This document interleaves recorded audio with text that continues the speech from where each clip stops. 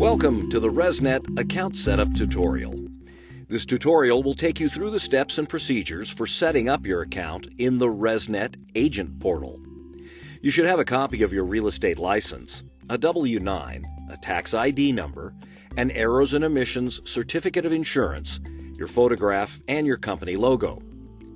So we will start off with the basics, and you will enter your brokerage company name under your broker. If you are the broker, you can keep the report to broker blank. If you're an agent, put the broker's agent ID that you report to. Your title again. If you're the broker owner, that would go here. Then your broker license. This is where you input your license information if you are an agent, and the information should be who the license is issued to. And this is where you're going to actually upload a copy of your license. So we're going to go ahead and put the license number in. We're going to select broker or agent, expiration date, generally a year away. Then we're going to place the address from the license inside the control panel here.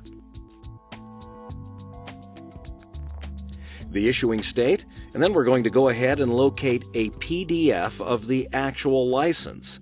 And we're going to go ahead and double click on that, and you'll see that it is now on file.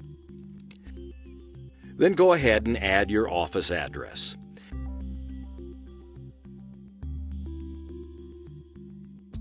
Now we're going to put in your contact information. Both phone numbers, office and mobile, are required. This will make sure that whenever you fill out forms, contact information inside of any transaction, this information will automatically port over so that your interested parties can contact you. The last thing that you're going to do are add your tax ID number. Again, this can be a social security number or an EIN, depending on what type of business entity you operate under. You would then upload a W-9. For our purposes, we're just going to click on Agent License again. You can upload any PDF or document there.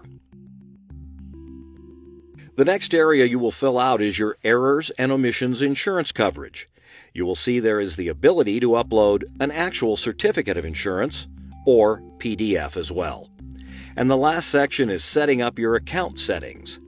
You'll add your name, your last name, You'll add your email address, your username, and your password. Next, let's set up your territory.